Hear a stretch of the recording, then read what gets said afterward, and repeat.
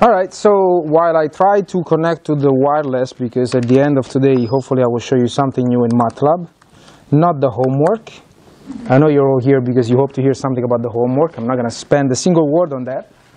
Um, but uh, my MATLAB well, Wi-Fi is not working, so hopefully, I don't know, it will decide to work by the end of the lecture. Now it's insecure connection. That's really nice. Oh, wow. Okay. Anyways, this is what we need to do. Moving to chapter 3, uh, there are, there's other stuff in chapter 2 that we may go back uh, to at some point, uh, like the three restricted three-body problem um, and, uh, and more, but uh, it's time to move on. So, so far, what we've done is we said, okay, we, we use the perifocal coordinate system, which is made of unit vector along the direction of the eccentricity vector, a unit vector along the eccentricity, eccentricity the, I'm sorry, along the angular momentum vector, and then another one that completes the right-handed frame that you can call whatever you want. And in this coordinate system, we said, okay, we know that uh, the r vector connecting my attracting body, m1, and my spacecraft, m2, is such that uh, r is equal to h squared over mu, 1 over 1 plus e, and I don't know why. I'm going to the other board. How about that? Cosine of theta. Uh, that's, that's what we know. Uh, and we call theta the true anomaly, this angle here. So we have solved partially uh, the uh, gravitational equation, differential equation, by introducing this parameter theta. But uh, we know where the spacecraft is given an angle. We don't know what time it is when that happens, right? We don't know yet what this is, or which is equivalent what this is. And uh, in a few cases, that solution can be found analytically for a circular orbit and, and a parabolic one. Uh, but in general, it boils down to solving numerically a, uh, an equation, which is much easier than integrating six differential equations anyways. So what we're going to find today is the Kepler, so basically to find this, we will get to the Kepler's equation. So I'm going to start as usual with um, circular and uh, elliptical. And I had a MATLAB file that at the end will solve that equation we'll find. But of course, it's, it's not going to work. OK, so um, there is a lot of trigonometry involved here. And I'm going to go fast over some things. I have a lot of things that I have to write down because you will see what kind of formulas we're talking about. Uh, but we just want to show how we get there. So what do we know uh, about theta? Um, well, we know that h is r v normal, right? And remember that simple exercise we solved at the beginning. We can say that this is also r squared theta dot. Do you remember where that is coming from? The pipe, the little particle in the pipe that goes around. So that's your normal velocity um, times r. And so from this equation, I can say that d theta in dt is equal to h over r squared. Nothing special. Since I know an expression for r, which is down here, taking two boards, uh, I have h, let's see, over h to the fourth power. Then I have a mu squared up here. I'm just uh, inverting this expression. And then I have a 1 plus e cosine of theta squared. And remember, this is dt, d theta in dt. So if we separate the variables, well, simplifying a few things, this is q. Uh, this is what I'm going to get. Uh, let's see, dt, it's multiplying h cubed over mu squared and this is supposed to be, uh, no, it's the opposite, I'm sorry. Separating the variables the wrong way. I want to have dt on one side and dt on, on the other side. So let's see. Uh, yeah. Mu squared over h cubed makes a little more sense. It's equal to d theta over 1 plus e cosine of theta squared. Right? Yes? Did I miss anything? The h that you have on the bottom, is that to a fourth? or- Sorry. That's a 3. I simplified it with this one. Oh, okay. right? Yeah, that's what you get. So, in other words, uh, you want to find a way, the way theta and t are related to each other, you need to solve this, this equation here. And this is in general for any e. I haven't specified what the e is. So, solving it at least symbolically means that I integrate both sides and I get integral between, for example, the time where the spacecraft goes through perigee uh, and a generic time of mu squared over h cubed dt is going to be equal to uh, what is the true anomaly at perigee. By definition, we define the true anomaly 0 to a generic theta of d theta over 1 plus e cosine of theta squared. This we know how to solve. This is mu squared over h cubed. t minus t at perigee is equal to this integral here. Okay? Now what we usually do is that uh, we can always choose the passage at perigee to be zero. You just decide that that's when you start counting time or reset the clock or whatever it is. So you can, you can eliminate that. Uh, but still you have to deal with this uh, pretty interesting integral. Now I'm going to write here the known solutions for that integral depending on basically the values of the eccentricity.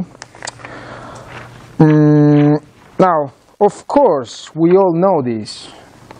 We all keep in our memory that case 1, if you have this function, integral of dx over 1 plus, I'm sorry, I just, let's do it general, a plus b cosine of x squared. Okay, this is what you have, a squared minus b squared, 3 over 2, and here the fun begins, 2a arc tangent of, wow, so this is a square bracket. Yeah, you all know this stuff, right? I knew this stuff. I use it all the time. No, I don't. Uh, but you know, we, we, need, we just need to know that that's the start point. Okay, okay, so this is arc tangent of all these things, and I'm not done. Plus, minus b, a squared minus b squared sine of x, a plus b cosine of x. Now, and this one, case one, is only valid when b is less than a. So this is only the beginning. This is what we're going to use today. It's, it's known, it's in some books, okay? Uh, we're just going to use it. So the case A, look at this and look at that integral down there. Uh, A will be 1, it's always 1 for us. And E is what can change, it's, it's B here, right? So the B less than uh, A is the circular and eccentric case, right? So E is less than 1. So we're going to use this. Uh, but I want to give you the other ones just because we'll use them in the next lecture. So let's just be done with these uh, very nice expressions. So the same thing, same integral. Now this is b equals to 8. So to a, this will be uh, your parabolic case, e equals 1. This is a little nicer actually. It's 1 over a squared, 1 over 2, tangent of x over 2 plus 1 over 6 tangent cubed of x over 2. When we'll do this, actually this is one of the cases where you do get a, a closed form solution. You can actually directly relate theta and, and t. Okay, so this is case 2. And the third is as ugly as the first one, so I'm going to move to the this board here.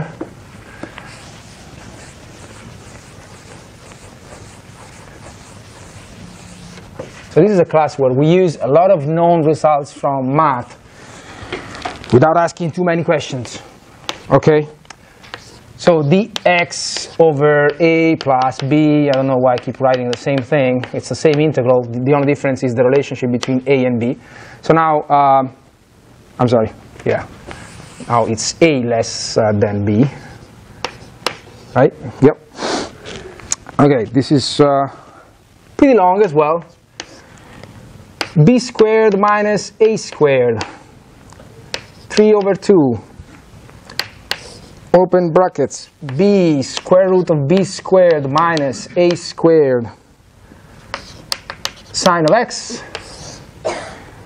a plus b cosine of x plus minus just to make it more entertaining, there is a natural logarithm here of square root of b plus a over, yeah, when we get to do this for um, the hyperbolic uh, trajectories, we will uh, talk about hyperbolic sines and cosines. Remember those things? Have you ever seen them before?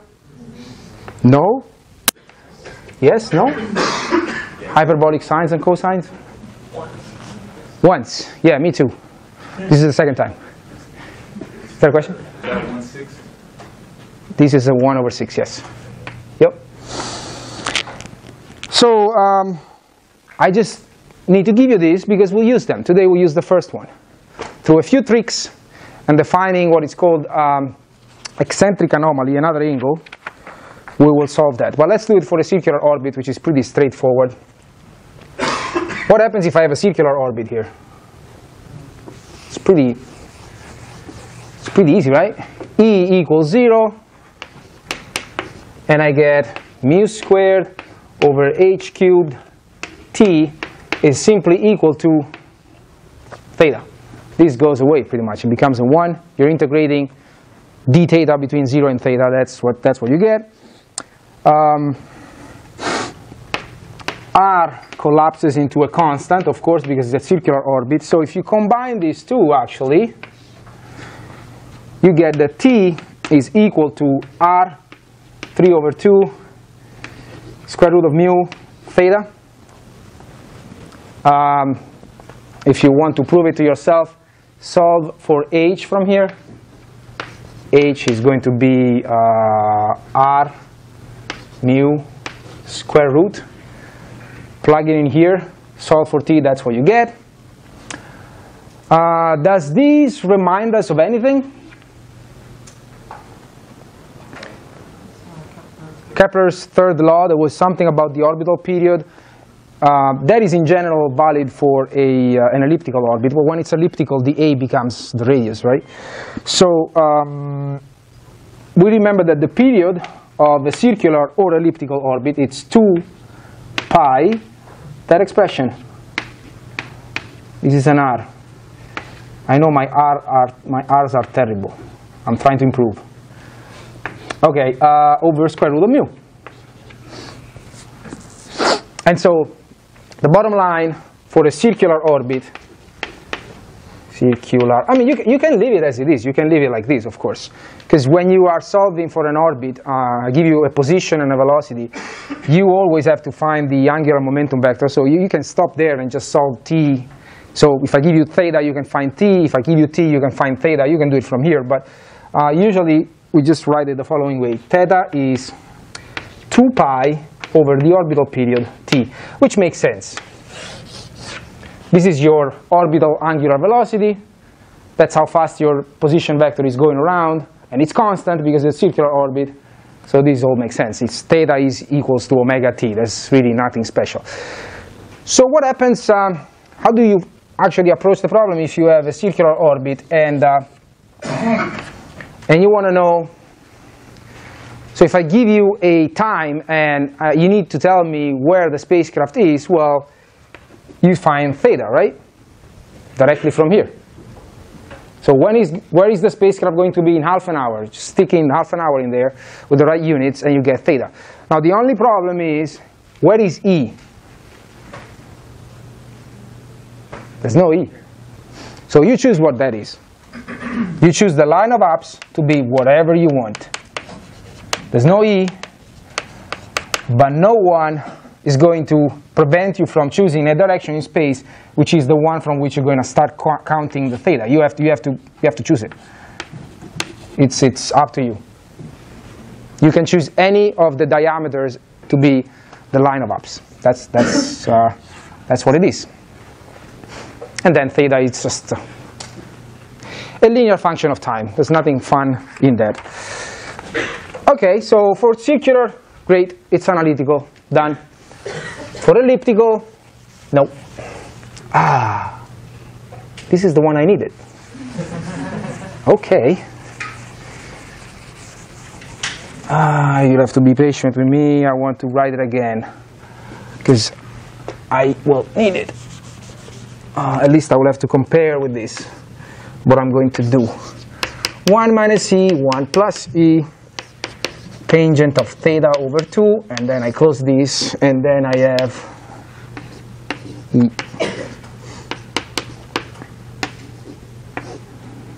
One plus e cos theta sine of theta, and done. Okay.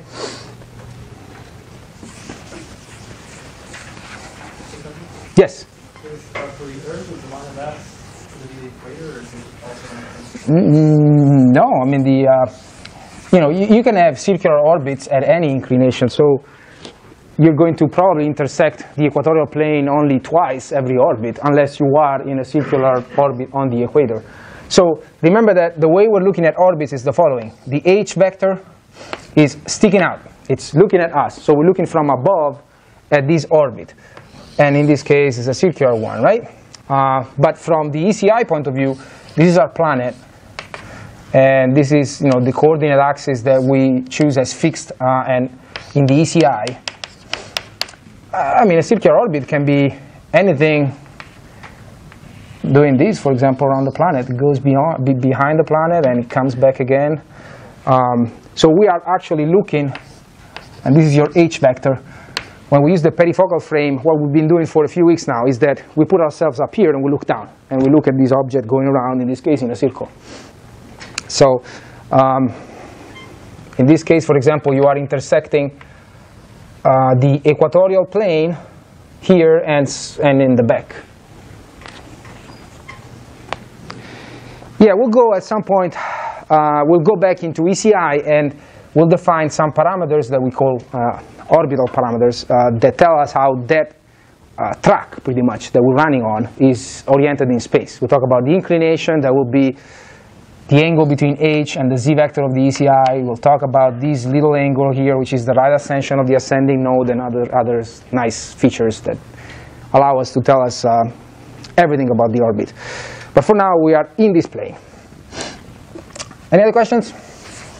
So how does that look like if I stick a equals to 1 and b equals to e? I get, well, this, this is the integral that I need to solve, right? And so I'm going to rewrite that with the right variables in it. It's not that different, of course. Arc tangent of, well, that. Ah. I mixed things. I'm sorry. I was looking at the right. Uh, yeah, this is A and B. This is the general expression, just to be, just to be completely thorough here. This is A and B. This is A and B. This is A and B. This is A and B. Right? I'm sorry. You should. You should. Uh, if you copied it before, that was the generic one. A B, A B. A squared minus B squared, and there is a B here, and there is a A here, and there is a B here. I was already moving on with substituting E and 1. Okay, uh, well, 1 minus E, 1 plus E, ah, the tangent of theta over 2. Uh, okay, this is closed here.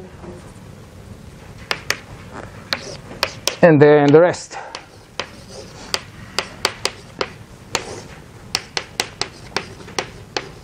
Fine. Okay, this is also equal to what? The other side is time, right? The other side is that integral over time, mu squared, h cubed, t. And uh, usually you will see this term moved here, so remove it from here.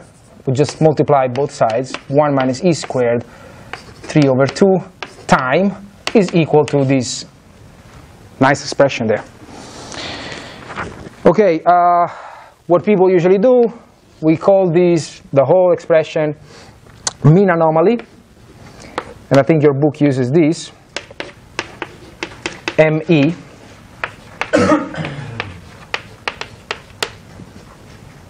It's just a convention. We call it that way, this expression. This is a constant times t. And E indicates that we're talking about ellipses. We'll define some kind of mean anomaly for parabolas and hyperbolas too. They look different. Yes? Is that a mu subscript e or an m subscript e?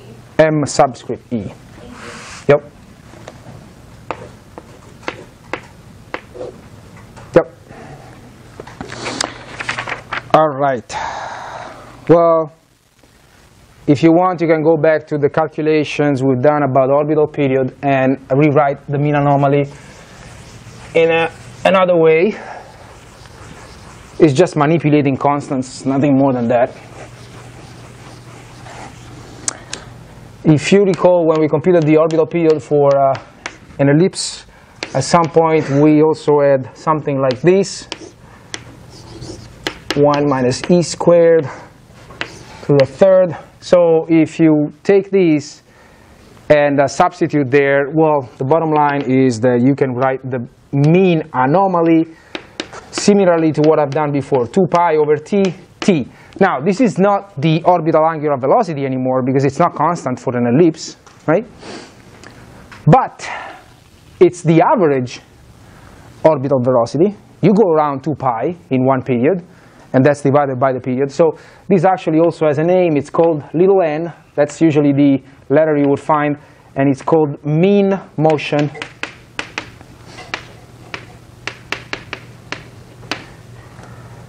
Now, mean as in average, not as in being mean. Okay? That's a bad joke, I know. Uh, all right. Well, there's nothing fun here. Let's let's do the fun part. So how do I deal with this ugliness here? The problem is that um, on on the left hand side,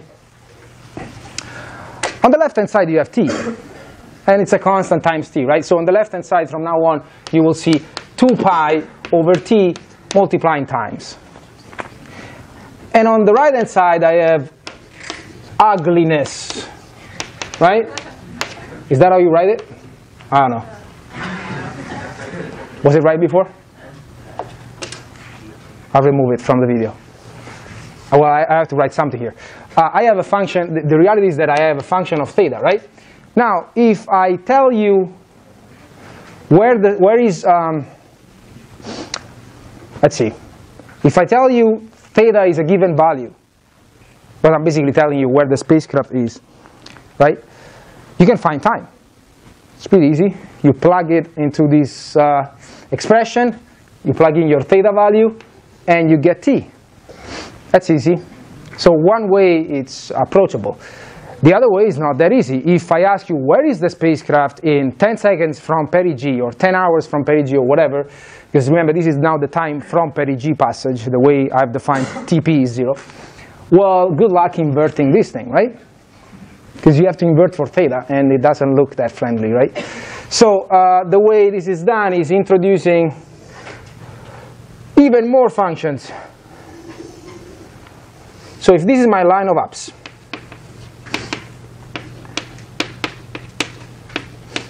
and uh, this is my eccentric orbit, and my attracting body or focus is here, and uh, let's see, and I, and so the semi-major axis is, is A, right? So this is C, this distance is 2A, as we know. Okay. Okay, I'm going to draw the circle of radius A that contains this ellipse. I'm going to look at a generic position of the spacecraft on the ellipse. So this is my vector r. And I will continue this radius. I will just elongate it uh, until I intersect uh, at a point, whatever I call this q, the circle. Okay, the angle between the radius of the circle through C and Q and the line of apse, this angle here is called E or eccentric anomaly. And uh, I'm going to use that. So from this point Q, I can project down here, and uh, let's call this point down here V, for example. So um, there are two ways that I can express this uh, distance CV. Two different ways. Can you tell me which ones they are? This radius is by construction is A, right? Okay. So do you remember what this distance was? Between the center of the line of apse and the attracting planet. We computed that when we wanted to find R, you know, the, what is it? A, AE. Okay. And then this is, of course, the true anomaly. I forgot to draw that. So uh, there are two ways that I can write C, uh, this- the distance between C and V. One way is A cosine of the eccentric anomaly. So I just take this radius and I project it down, and I use this angle here. Or it's uh, also AE plus R cosine of theta, which is AE. Now, one of the ways uh, that we have expressed the R is the following, at least for a um, an ellipse. Okay. Hmm. I think that can go now. Let me just double check that I have it right. Looks okay. Okay. So now I have this relationship where a cosine of E is equal to AE plus, uh, what do I have? A 1 minus E squared, 1 plus E cosine of theta, cosine of theta. Is that what I have down there? Yes. Well, we can, uh, for example, we're going to use this. This is not just for fun. We're going to, to find actually these two expressions again. We're going to have something like this and something like this in a second. Uh, in, in- as a function of, of this angle big E. Um, okay, so we can solve in different ways. Cosine of E is going to be, well, if you do this math here, 1 plus C cos theta denominator uh, it's e plus e squared cosine of theta plus cosine of theta minus e squared cosine of theta. And that gives me, here, e plus cos theta over 1 plus e cos theta. That's 1. So cosine of e is equal to this. You can also invert this and solve it as a function of theta. Cosine of theta is going to be e minus cosine of big E, little e cosine of big E minus 1. And also, okay, I'm gonna write, I'm gonna start writing the things that, oh, no, it's the end. We're done.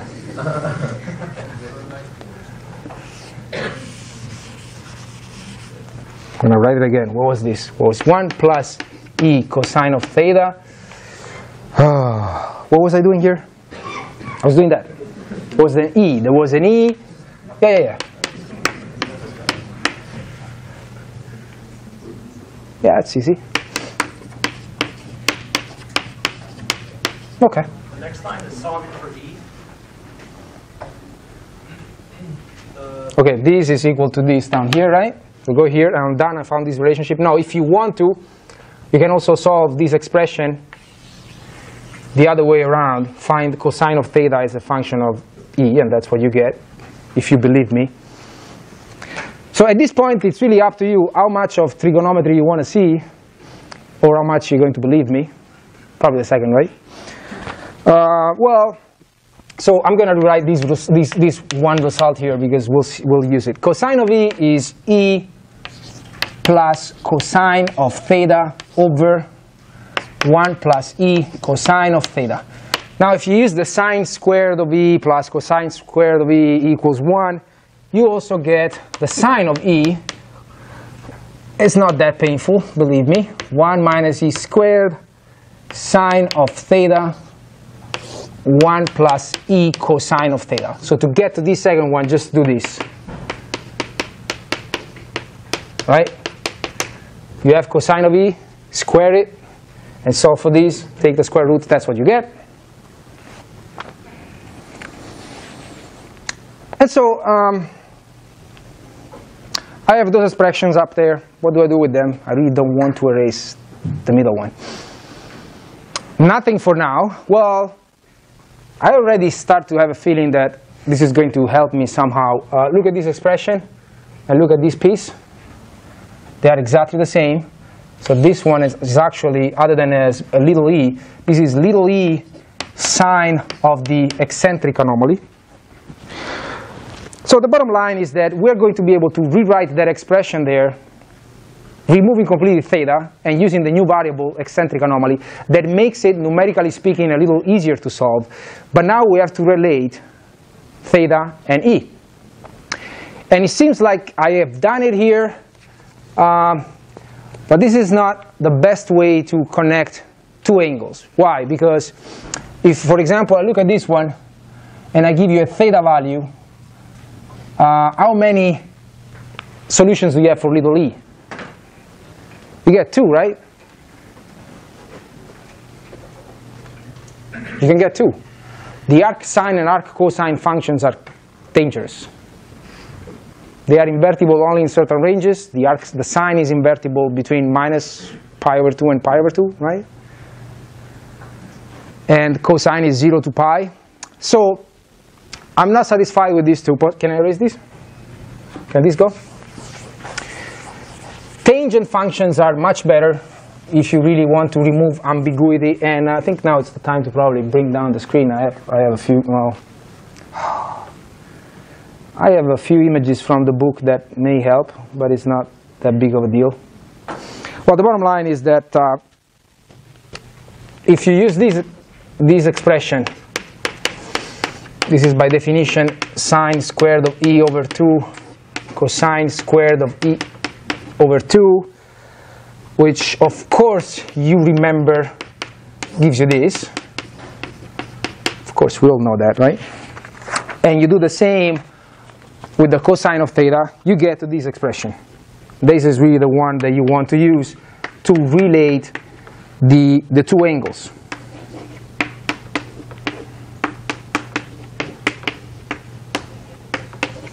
That's all you need to remember, if you really want to remember anything, is that we define the eccentric anomaly that way. Starting from that CV distance, you find relationships, as many as you want, playing with trigonometric functions. Uh, and, and bottom line is that if you really want to have no ambiguity, this is the one you want to use. If I stick here the value of theta between 0 and pi and 2 pi, I'm going to go with the argument of this tangent function between 0 and pi. And the tangent is great between 0 and pi. I, well, there is an image that I wanted to show you. Yeah, let's do that. I think the book will still open if I'm not online, right? You never know.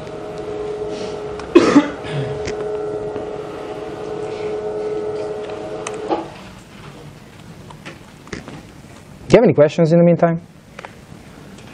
I'm not done finding the actual final equation that I want to solve numerically, but I All you did was change the sine, sine for the tangent? Well, use this this property of sines and cosines, right? Of, of you know, this is a trigonometric relationship. If you have the tangent squared of an angle over two, it's also equal to this expression. Do the same for the cosine of theta. Uh, substitute, uh, and and and you you do get that expression. It's really not a big deal how you get there. Is you need to know that you want to use this one because otherwise you're going to find yourself without knowing if I give you a theta value, what, what is the e that you need to use. And with that equation, you want to find E at the end of the day? Well, when, once I'm done here, I'm almost done finding the equation that allows me to find big E. then from here you can go one, one way or the other. For example, big E is going to be twice the arctangent of that expression, right?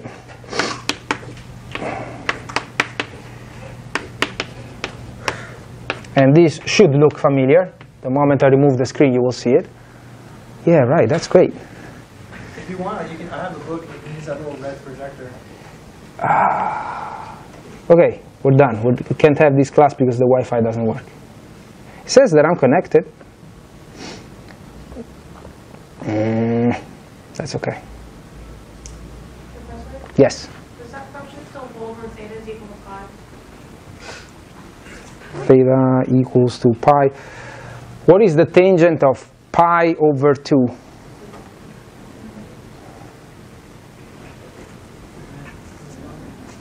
What is that?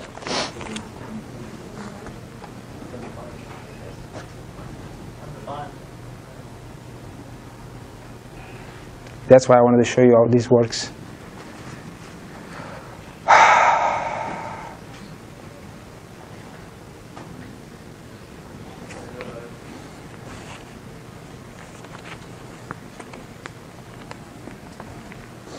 Mm, Professor, if you, if you use that little red projector behind you, you can use it.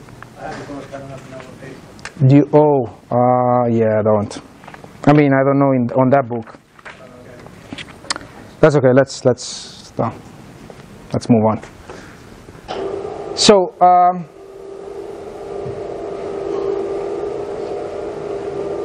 it is it is undefined. Well, it isn't really. I mean, the, the, the, what what's going to happen is is what is the arc whose tangent is say that you stick the pi over to that this this will give you a plus infinity, right? But the angle that gives you plus infinity, it's it's what you do know what that is. So if I if I if I have infinity here, plus infinity, what is how does the tangent look like? Well, that's terrible with the screen on. Uh, yeah, I don't think we need this anymore.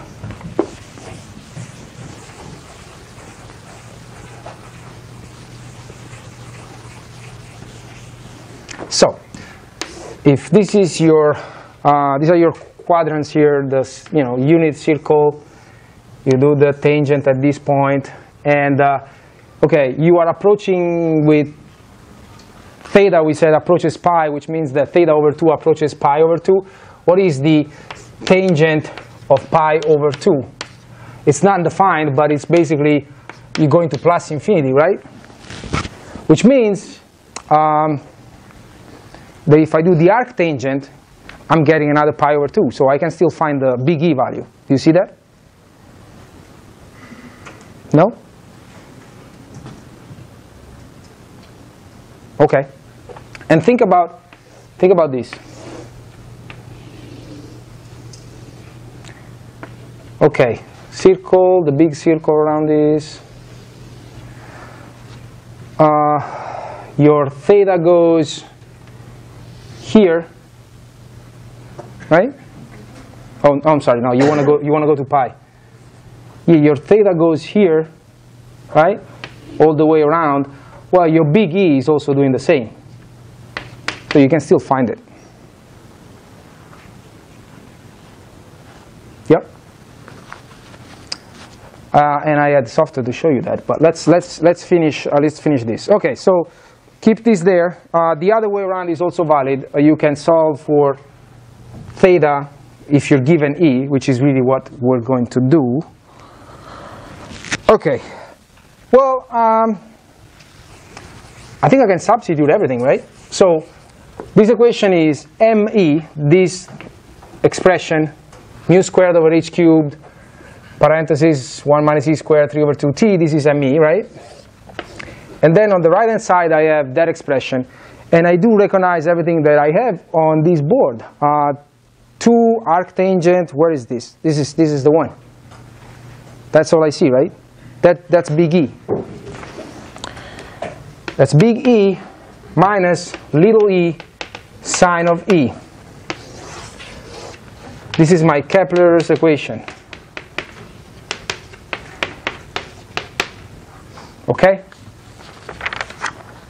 So that is the one that, as you can imagine, you, if you need to find, so if I give you time, it means you know this, right?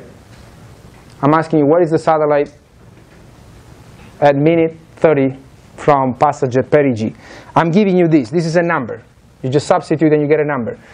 Then you have to solve for big E, which is, quite frankly, if you have to put it in MATLAB, this is a much nicer expression to solve that, that one.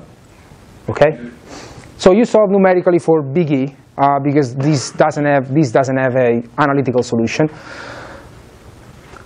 And then, once you find big E, well, you go here, which- so which means that I probably want to invert this expression and just uh, do the opposite, find theta as a function of big E. So theta is what? Uh, now it's twice the arctangent of the inverse of that expression, 1 plus E, 1 minus E, tangent of E over 2. So this is the procedure. If you are given time, that is the hard part to solve. Again, if I give you theta and you want to find the time, that's done immediately. There's no numerical solution, nothing you have to do. But if you're given time, what you do is compute big ME, solve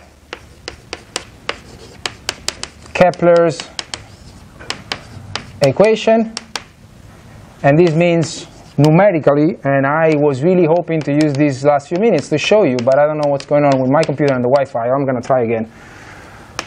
And then, which means, solving this means that you find, so solve means that you find E, big E.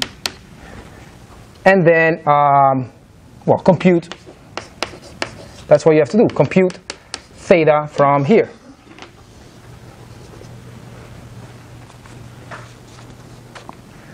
And that's perfectly doable as uh, also when you're going towards pi over 2. Um, until I get these to work, do you have any other questions? No? So what does this all, like, what does the big E give us at the end of the day?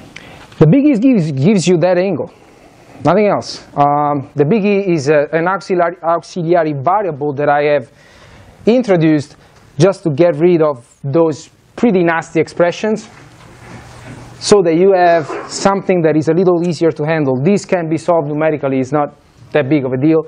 The expression I had before, it was a little more painful uh, to solve. So again, the big, the big E is defined as, you imagine this circle of radius a around your elliptical orbit. This is your actual position, so say that I'm telling you um, that, that I want to know where I am at a certain time. Well, you first find this angle here, big E, and then you find theta. It is simply much easier to solve this and then substitute in that expression. Uh, I, I don't know what I have to do. Do you, um, you guys have a MATLAB um, open or something that I can hook up that it's hopefully running? No? I can show you the code. That's not going to help much, probably. Yes. This is only for elliptical and circular, but circular, I mean, it's a linear relationship. So this is still going to work, but uh, if you put circular here, that means this goes away. The E becomes theta. They are the same thing because it's already on a circle. And so, and you get again the same equation that we had before, that T is proportional to theta and nothing else. So this only is valid for those. Um, if you guys have a few minutes of patience, we still have six minutes. I can keep trying. What about you UF visitor? Does that work? Yes, yes. Cancel. What do I have to do? Give them my cell phone number, or what, what do I need to do? Wow, it keeps failing on me. I think from now on, I'm gonna upload the stuff on my website and use. Uh, yeah, but I have to say, how do I send you the files? You have a thumb drive on you right now? I don't have a thumb drive. Maybe I do. Yeah, I do. Lego thumb drive. Here. Thank you. Can you connect that in the meantime? I don't know how. You have HDMI cable. Yeah, there is one. Alright, let me get This quick.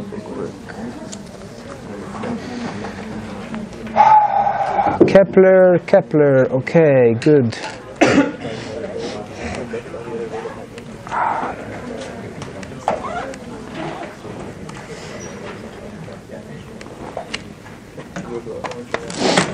Thanks.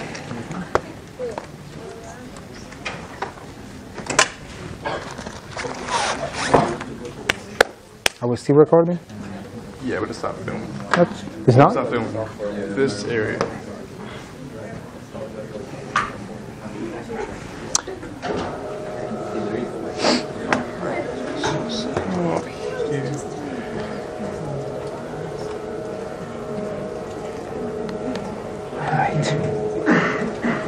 Great, great, great. Can I just open this?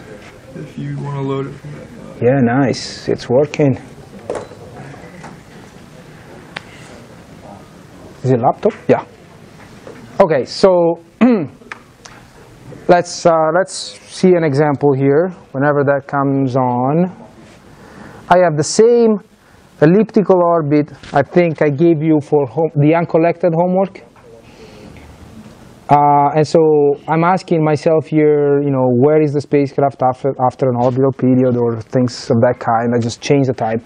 So here it is. Uh, it's the same as you see. It's the same orbit. Um, can I make this bigger? Maybe? Nah. Yeah, you could drag it off, undock it. Thanks. I don't know what happened. Shouldn't touch computers today, probably. Okay, same orbit, so nothing is new here. Uh, this actually gave you the code that does this stuff. Uh, and so now we get to solving Kepler's equations for, for equation for an ellipse. So I'm asking, okay, this is where I want to know what the theta is. Define the uh, mean anomaly, nothing special, 2 pi over the orbital period times that time.